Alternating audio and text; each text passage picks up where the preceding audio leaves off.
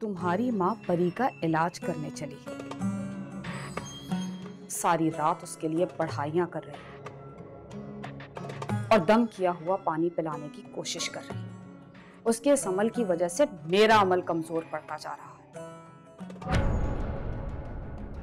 मैं ये बात हरगिज बर्दाश्त नहीं कर सकती कि मेरे अमल के बीच में कोई दखल अंदाजी करे। क्या आप सच कह रहे हैं? मुझे झूठ बोलने की क्या ज़रूरत है? यकीन नहीं आता तो अपनी माँ से पूछो। उसकी पढ़ाइयों की वजह से मेरा अमल इतना सुस्त पड़ गया है कि परी होश में आने लगी है और मेरे मौकिल परेशान है।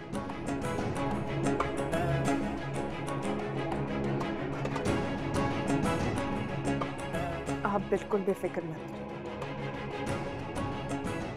अब अम्मा परी के लिए पढ़ाई बिल्कुल भी नहीं करें